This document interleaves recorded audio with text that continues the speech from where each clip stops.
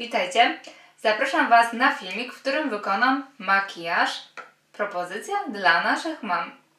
Sponsorem tego filmiku jest sieć Superfem, a wszystkie kosmetyki, które użyję do wykonania tego tutaj oto makijażu, możecie u nich nabyć. Skąd temat makijaż dla naszych mam? Otóż przyczyna jest bardzo prosta. Ponieważ zazwyczaj dla naszych mam kupujemy prezenty, Myślę, że równie wspaniałą alternatywą będzie spędzenie z nimi trochę czasu i wykonanie im makijażu. A że makijaż bardzo do siebie zbliża poprzez intymny dotyk naszych twarzy, myślę, że jest dobrym pomysłem. Życzę Wam miłego oglądania. Skóra naszych mam jest skórą bardzo wrażliwą, delikatną, dlatego w porze letniej i również wiosną musimy ją odpowiednio chronić przed nadmiernymi promieniami słonecznymi. Dlatego też przed wykonaniem makijażu jako bazę używam kremu z wysokim filtrem. Mój krem to krem Aven, francuska marka, 30. E, I co warto wspomnieć, jest to krem matujący, czyli dodatkowo chroni moją buzię przed nadmiernym błyszczeniem. Tak jak widzicie, połowę twarzy mam już pomalowaną, dlatego na drugiej połowie od podstaw wykonuję makijaż. Rozprowadzam krem z wysokim filtrem i przystępuję do dalszej części makijażu, czyli nakładam, nakładam podkład oraz korektor. W pierwszej kolejności nałożę korektor. Korektor bardzo delikatny, płynny w okolicy pod oczami yy, oraz na całej powiece, ponieważ właśnie skóra przeważnie naszych mam jest już spowita zmarszczkami mniejszymi, yy, większymi. Raczej nie używamy w tym miejscu, w tych delikatnych miejscach podkładu, tylko właśnie delikatnego korektora. Ja używam korektora z Maybelline Lumin Touch, taki korektor w pędzelku. Ja mam w numerze 01 Ivory. Tak widzicie, wykręcam sobie troszeczkę tego korektora i punktowo aplikuję go właśnie pod oczami na powiece, a następnie rozsmarowuję.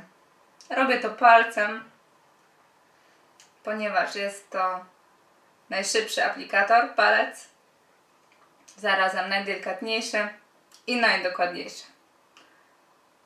Czyli tutaj na całą powiekę oraz pod oczami lekko wyjeżdżam w kierunku ku skroni. Teraz przechodzę już do właściwego podkładu. Podkład, który użyję, będzie nowość marki Dermika True Magic. Jak zapewne zauważyłyście, reklama tego podkładu znajduje się we wszystkich kolorowych czasopismach, zatem no, musiałam go wypróbować.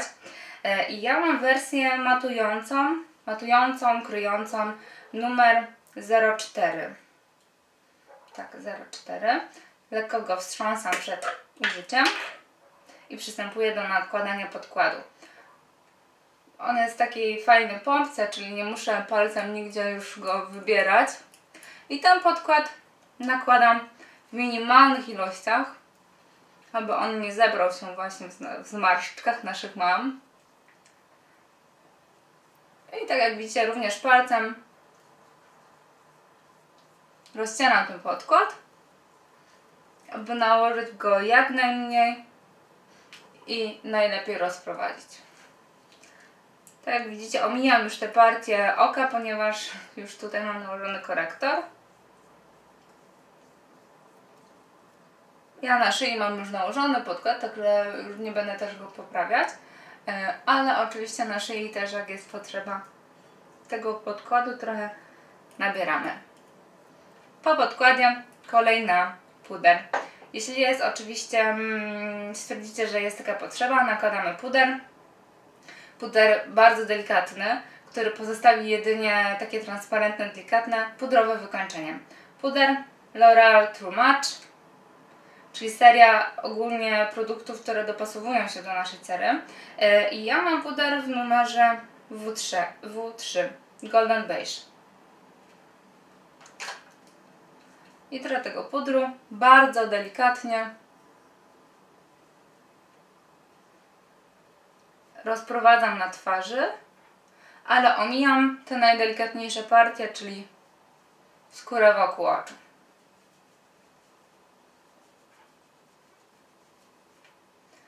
Kolejna partia w naszym makijażu.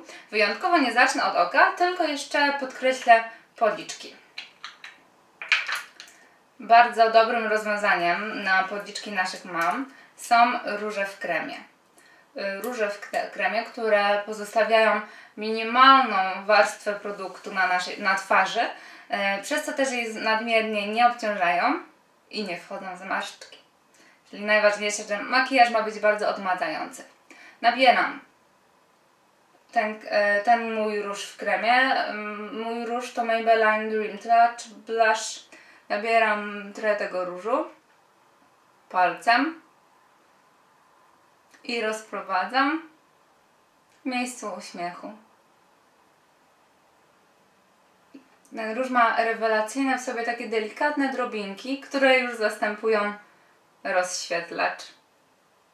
Jeden uniwersalny produkt, którym można, możemy uzyskać naprawdę wspaniały efekt. Trochę tego różu. I przystępujemy już do makijażu oka.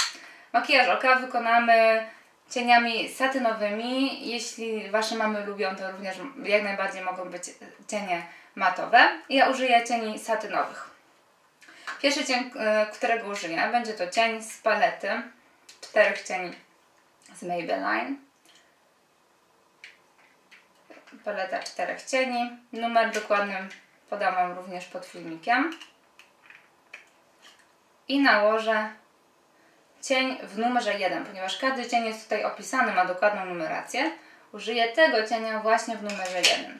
I przy pomocy szerszego pędzelka ten cień aplikuję pod brwią oraz od wewnętrznej, wewnętrznej strony oka.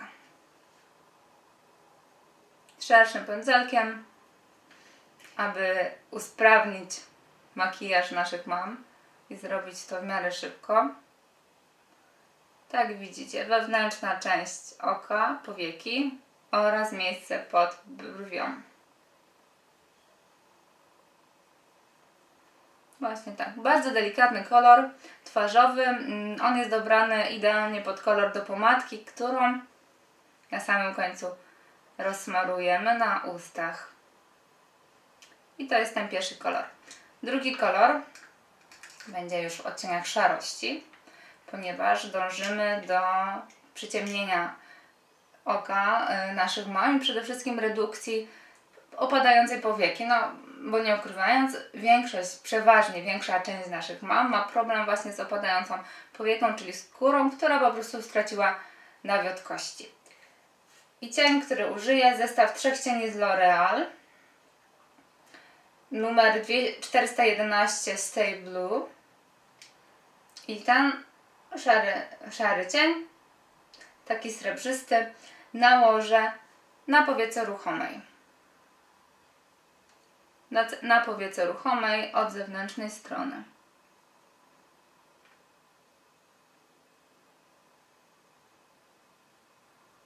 Staram się nabierać jak najmniejszą ilość cieni, aby wiadomo, one nie obciążyły dodatkowo skóry, tej najdelikatniejszej skóry właśnie wokół oczu. Tak jak już wspomniałam, ten cień srebrzysty nakładam od zewnętrznej strony oka na powiece ruchomej. Teraz kolejna, następny cień.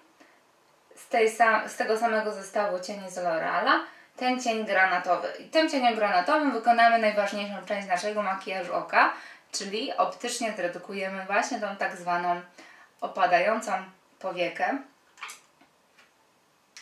Nabieram na pędzelek, sztywny pędzelek, odrobinę tego cienia. Zawsze nadmiar cienia ocieram o dłoń i wykonujemy makijaż oka właśnie przy minimalnej ilości tego cienia. Rozpoczynam od zewnętrznej części oka i zakreślam właśnie granicę mojego makijażu. Czyli patrzę w lusterko, gdzie mniej więcej ta powieka opada i na tym fałdzie wykonuję makijaż. Tym samym granatowym cieniem czyli najciemniejszym takim satynowym cieniem, podkreślę dolną powiekę. Dolną powiekę rozpoczynamy podkreślać od zewnętrznej strony oka na długości 2 trzecich. Czyli dosyć długa, granatowa kreska pod okiem na dolnej powiece.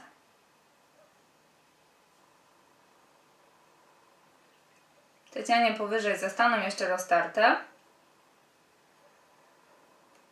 Ale teraz użyję jeszcze ponownie cieni z tego pierwszego zestawu cieni z marki Maybelline. Powracam do, do koloru numer 4. Jest to brudny róż, matowy cień. I tym brudnym różem podkreślę również dolną powiekę, ale tym razem od wewnętrznej strony. I ten kolor bardzo będzie współgrać z moim, z kolorem pomadki, którą później nałożę. Kolejny cień, którego użyję, będzie cień w numerze 3. I tą trójeczkę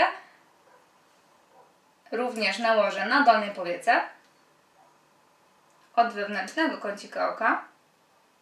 Jest to cień tak delikatnie perłowy, e, ale pamiętajmy, że miejsce właśnie w wewnętrznym kąciku oka oraz pod brwią, te miejsca raczej nigdy nam się nie marszczą. Także śmiało możemy tutaj z tą perełką zaszaleć i podkreślić nią oko naszych mam. Tą samą tym samym perłowym cieniem rozświetlę również środkową część powieki ruchomej.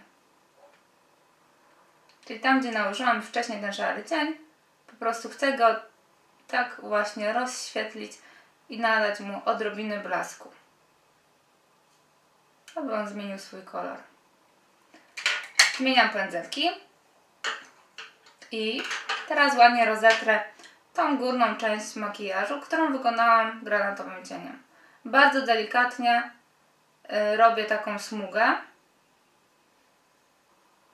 Rozcieram wyraźne kontury, natomiast cały czas y, doglądam, aby ta fałka tak zwana była, była widoczna i ona podkreślała i korygowała opadającą powiekę. Jeszcze bardzo ważna rzecz, rozświetlenie miejsca pod brwią oraz zewnętrznego kącika oka i to zrobię obojętnie jakim jasnym cieniem. Najlepiej cieniem tak zwanym bazowym, czyli wewnętrzny kącik oka oraz miejsce pod brwią.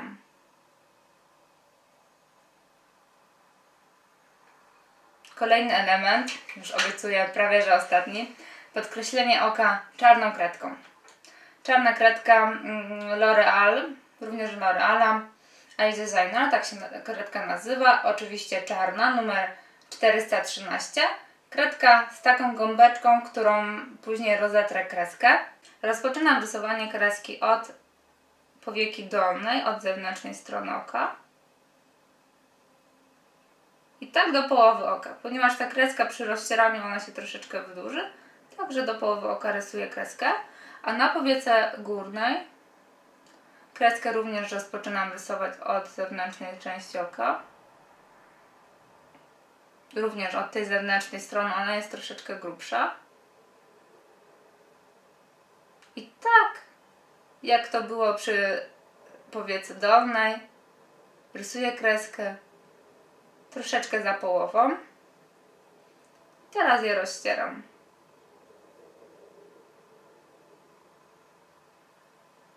Oko jak najbardziej może być właśnie podkreślone kreską, kredką.